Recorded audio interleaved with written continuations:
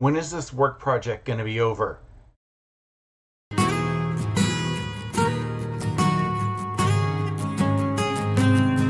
I don't know how much more I can take, but the end is on the horizon. Hi, and welcome to Quilt Meets World, where we have adventures in piecing and joy. I'm Russ. Come on into my sewing room. I'm almost done going through the billions of lines of data uh, so that we can, you know, sign off on that. And then I only have to go through it one more time as we go live in production. Uh, I say almost because every time I get closer in one area where things are out, it breaks another area. So I have a meeting on Tuesday with the consultants to figure out what's going on because everything needs to be signed off and finished by Wednesday. And that's UAT. They're starting to go live in production. So as they get the data loaded, I will have that opportunity to go in and do my final checks to make sure everything migrated fine to production.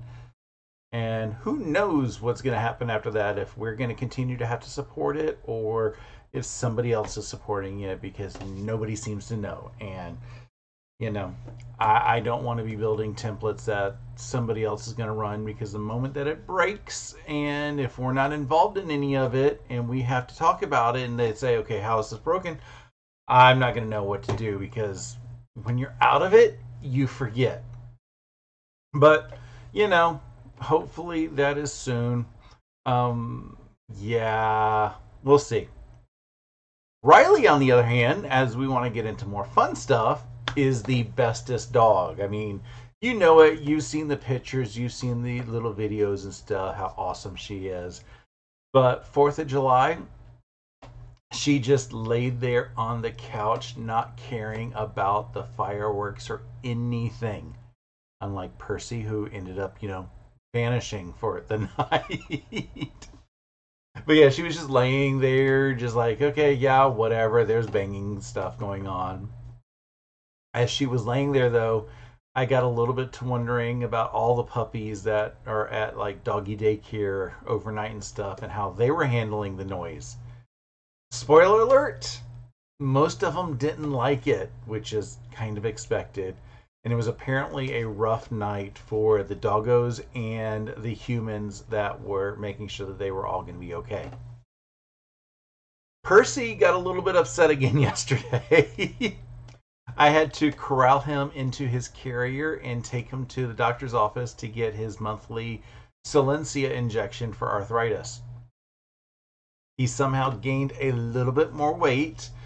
Uh, so his chonkiness has grown. I I don't know how he is gaining weight because he's on his weight management diet and I feel like he's starving because every single time it's time to fill his bowl up for his next meal, he's like, I need food, I need food, I need food. So I think we have an appointment coming up this month for his annual.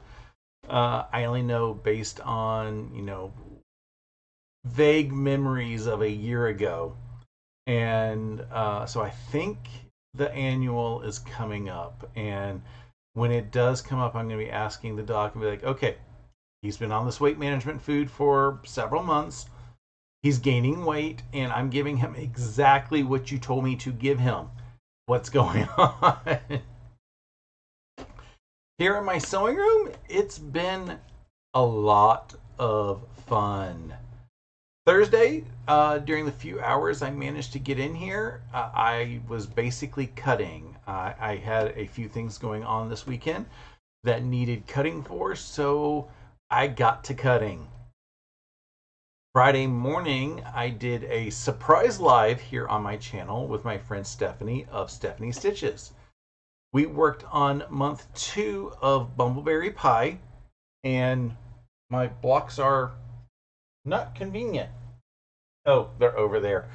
So I would go get them. I do have pictures of them in the weekend review that is coming up, so you can look for those. Uh, we worked on, like I said, month two of Bumbleberry Pie. It's a block of the month by Nancy McNally using fabrics from the line Bumbleberries by Lewis and Irene. I was so proud of myself. I got perfect points in the center pinwheel. I mean, spot on. You zoom in, it's like right there. And then as I was getting further along, I did the flying geese backwards. They're not ordinary flying geese. Uh, they had one side of the triangle had to match the pinwheel, and the other side was a different color. When I laid them out, the color was on the wrong side and. And I was like, okay, on one hand, it's a cool looking block, but on the other hand, it's not what it needs to be. I had choices though, because, you know, nothing is permanent until it's been cut. Uh, my first choice was to rip the flying geese out and redo them. That's eight flying geese that I've had to do. I didn't particularly want to do that because all the seams were on the bias and uh, it's hard enough to make sure you don't stretch when you're sewing it's even harder to make sure you're not stretching when you are ripping. So I said no to that. The second choice I had, Stephanie gave me. She said that I can just rip the center pinwheel and rotate the half square triangles and get them so that they the half square triangles lined up with the flying geese colors. I was like, that's a good idea, but that meant I was going to lose my perfect points. I mean, yeah, I was like, do I really want to do that? The third choice is to remake the flying geese. And I really thought about that, but I didn't know how much extra fabric we were going to have with this kit because, you know, the instructions or the fabric requirements say one thing, and I hadn't added up all the months to see like what each month thought that we needed and I certainly wasn't going to go through and look at all of the cut pieces. So I had a conundrum. I ended up pulling out Excel, okay, the Google Docs spreadsheet, because, you know, I'm not paying for Excel for myself.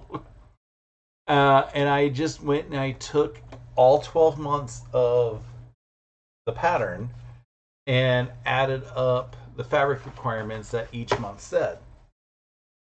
And then I compared that to the total fabric requirements that were on the back of the pattern and uh, subsequently um, what we received in our kits. And they didn't add up to the same thing. Uh, if you used 100% of the fabric from each month, we would have been a couple yards short of fabric. But I also know that we aren't using 100% of each fabric each time that we need it. So, uh, like if it says we need a fat eighth of a fabric cut in the instructions, and we cut just you know two four inch squares out of it, we still got plenty of fabric there I mean, it's not a ton of fabric, but it's still plenty. So what I'm guessing is that the pattern is assuming that you are going to continue to use all your scraps as you get further and further along. Um, I expect that because that is the most efficient way to use fabric, but it is also extremely frightening because if you cut wrong and you don't know if you're going to have enough fabric at the end. So I'm sitting here trusting the fabric designer and, eh, or the pattern designer and saying, you know, I know we're going to have enough fabric, but I'm still a little concerned. And because of that, uh, it kind of left me into two options now at this point buy more fabric and remake the block or reverse the pinwheel. I chose reversing the pinwheel because, um, yeah, getting up to the fabric shop because it's incoming. It's like a 45 or so minute drive. I was like, I don't want to take that trip right now. So I said, you know, I'll just redo the pinwheel. My center points aren't quite as perfect as they originally were, but it'll still work. Uh, I may also end up remaking the block at some point in the future when I know how much extra fabric we might have. Um, just because it feels backwards to me. Uh, I know that a pinwheel can go one direction or the other, and you know it could be one of those north northern hemisphere pinwheels versus a southern hemisphere pinwheel. Uh, I don't know, but like I said, uh, I think I'm going to end up going up to Thread Bear to buy more of the fabric, just because I'd rather be safe than sorry. On Saturday, I had my 11Z's live where I worked on week two of the Fort Worth Fabric Studios as the crow flies sew along. Uh, I didn't have any gaps with that block. Um, yeah, it just seems like lives and gaps just seem to happen and go together. Uh, it was a sawtooth saw, sawtooth star. Words are hard sometimes. And I managed to get through it really nicely. Uh, it was fun to make, and since I had no points that I needed to really line up, that came together really nice. Uh, I'm really excited to see what week three is going to be involved for us.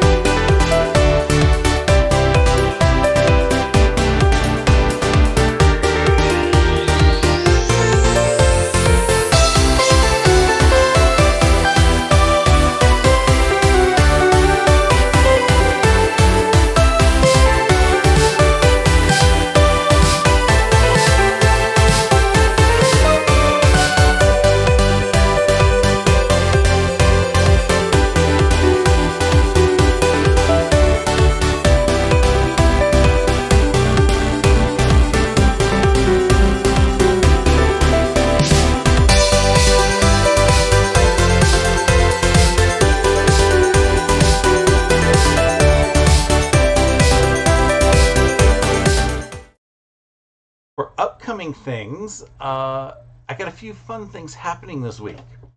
This coming Wednesday at 7 p.m. Eastern on my channel, there will be the July installment of the Social Review. The Social Review is the brainchild of Stephen from The Idiot Quilter and is hosted by Helm, Walter, Stephanie of Stephanie Stitches, Shannon of Sleigh Arts, and me. This month's topic is going to be sewing machines. Have you wondered what sewing machine we use and why? Or have you wondered about certain features that are advertised and how they might help you with some of your uh, piecing? Or have you just wondered what our dream machine is? Come on over this Wednesday at 7 p.m. 7 p.m. Eastern and chit chat with us, and you can have all your questions answered. Also, this Saturday at 11 a.m. Eastern, I will be sewing up week three of the Fort Worth Fabric Studios Halloween sew along called As the Crow Flies.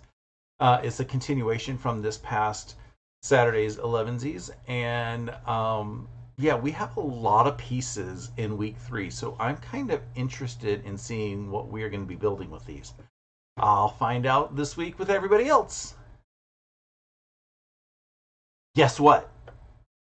I kind of have Monday and Tuesday off this week, giving me a six day weekend.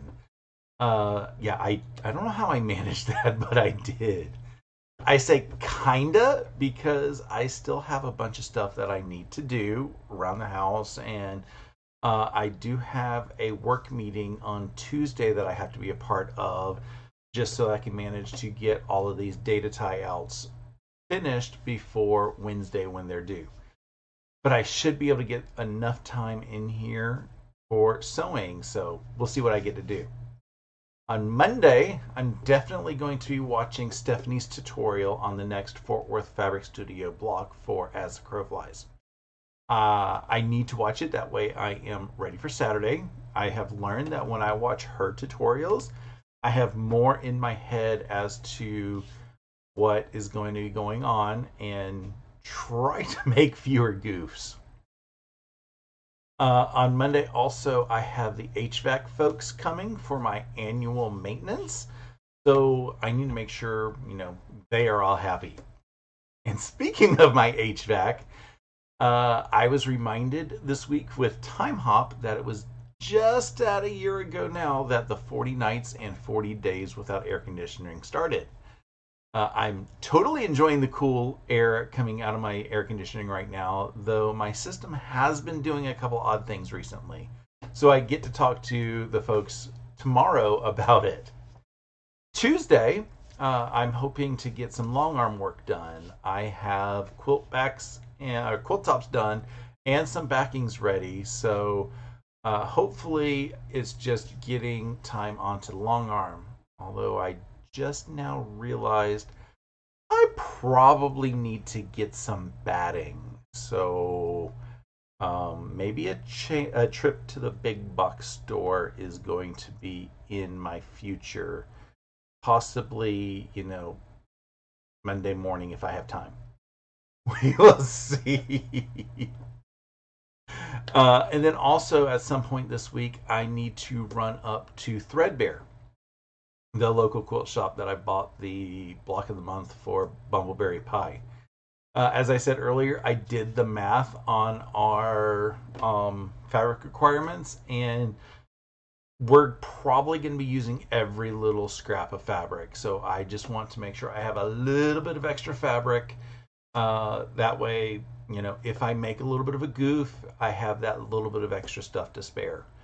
Uh, Stephanie wants the same, so I will be grabbing a little bit for her as well. Um, and it's easier for me to go up there in person than to order it online because online they have a minimum uh, cut requirement that is not there in person. So I can just go grab all the bolts and say, you know, cut me these little pieces and then when I get them back to the house, I can cut those in half and send Stephanie her half and keep my half. So I think that's just going to be a little bit easier. Um, I could also ask them at the shop to cut two individual cuts and not leave me to have to cut everything in half. We'll see how busy they are when I get up there. If it's a Saturday, I'm going to make it as easy on them and just say one cut if I ended up going Tuesday, then um, I may end up being able to say, hey, yeah, it's a little bit quieter, probably. So maybe I can get the extra cuts. Again, we'll see. Anywho, I think that is going to be it for today's ramblings. I hope you were entertained a little bit with my weekly shenanigans. I know for a fact that the Fur Kids was your favorite part, but you know, we all have our little bits and pieces that we enjoy. If you wouldn't mind doing the things for the YouTube algorithm that it enjoys, that would be awesome. Ringing the bell next to the subscribe button will let you know when I go live on Saturdays. It will also let you know when I go live this Wednesday for the social review with my friends and also when I upload any other videos throughout the week. I hope you have a wonderful rest of your day and an awesome week. Until next time, stay happy and keep stitching.